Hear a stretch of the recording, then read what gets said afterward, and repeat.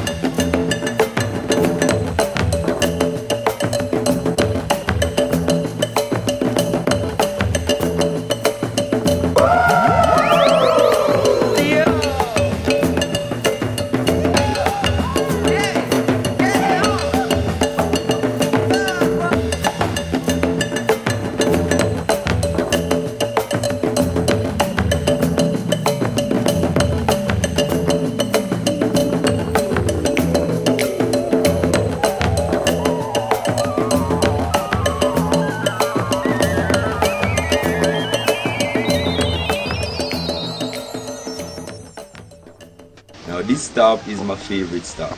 And I also know it's gonna be your favorite stop. If you notice, I was rolling my joint. Yes. And I don't light this as I roll it because I don't just light up my spliff on the job around the people. We have to have respect for those who smoke and those who don't. Anyway, this stop, because I'm going to do an illustration of Bob for you now, I got to light up.